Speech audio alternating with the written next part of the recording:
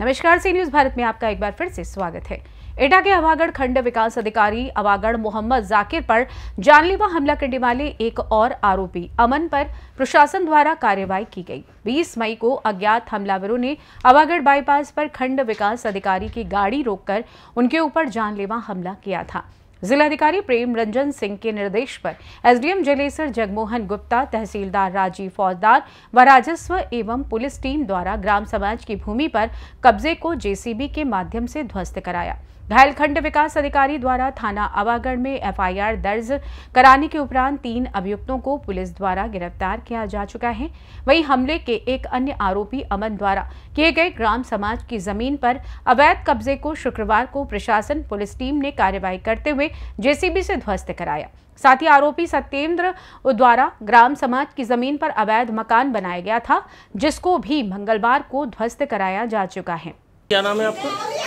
मोहम्मद जाकिर खंड विकास अधिकारी हवागढ़ सर क्या घटना हुई है आपके साथ में? अभी मैं पौने दस बजे ऑफ़िस आ रहा था तो बाईपास हवागढ़ में जेसीबी रास्ते में खड़ी करके गाड़ी रुकवाई और सात आठ या पाँच छः जो भी हों गिन नहीं पाया। हमलावर थे बाइक से। आप गाड़ी में थे? मैं गाड़ी में था और डंडे उनके हाथ में थे रिवाल्वर थे दो के पास। रिवाल्वर थे या कट्टे थे जी। बारह बोर के से नहीं देख पाया। अच्छा जेसीबी से रास्ता रोका है ताबड़ तोड़ गाड़ी पे हमला कर दिया उसके शीशे तोड़ दिए फिर आधा धुंध लाठियाँ मेरे ऊपर बजाई बैठे की सर लाठियों से पिटाया? लाठियों से सर तो मैंने बचाया हाथों से लेकिन बाहों पे टांगों पे लाठियाँ खो गए मैंने सर और बाहों के बीच सर को दे दिया था टांगों के बीच। पुलिस को सूचना दे दी आपने? पुलिस को सूचना दे दी गई है। पुलिस ने कहा है कि कार्रवाई अच्छा मेडिकल के लिए आए आप? मेडिकल के लिए। अच्छा आपने किसी को पहचाना है सर क्या? पहचानने में नहीं आ रहे। अगर वो सामने आ जाए तो पहचान लेंगे। सलीम लड़के थे पच्चीस साल के लगभग थे। अवागढ़ में वीडियो अवागढ़ के साथ कुछ अराजक तत्व मिसबिहेव किए, रास्ते में रोक करके जेसीबी मशीन लगाकर गाड़ी रोक करके उनके साथ मारपीट की गई, गाली गलौज किया गया। इसमें अभियोग पंजीकृत किया गया है और विवेचना के दौरान ये प्रकाश में आया कि उसमें एक रोहित यादव नगला खाना का प्रधान है। उसका फादर, जिस पे तेईस केस है और थाने का मजारिया एच एस है अंक रोहित यादव का भाई है, अंकित यादव। दोनों पे तीन तीन केस पहले से भी है एस सी एस एक्ट भी लगा हुआ है। ये सातिर अपराधी हैं। और इसमें अभी तक तीन लोग गिरफ़्तार किए जा चुके हैं और जेसीबी मशीन जब्त की जा चुकी है।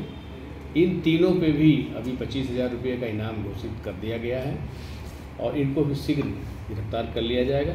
इसमें और भी जितने नाम आएँगे, उन पर सख्त सख्त कार्रवाई की जाएगी और ये रोहित यादव एंड कंपनी पे गुंडा एक गैंगस्टर के तहत कार्रवाई की जाएगी। ये भी बता दूँ कि इसने ग्राम समाज की ज़मीन कब्जा कर रखा था, दीवार लगा रखा था प्रशासन ने उसे भी ध्वस्त करा दिया है। नाली गलत बना दिया था, इसके सामने टेढ़ी होकर नाली निकलती थी।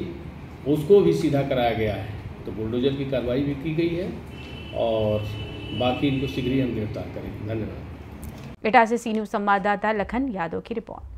फ़िलहाल इस खास रिपोर्ट में बस इतना ही। देश दुनिया की तमाम खबरों की जानकारी के लिए बने रहिए सी न्यूज़ भारत के साथ। हर खबर आपके साथ, आपके हाथ।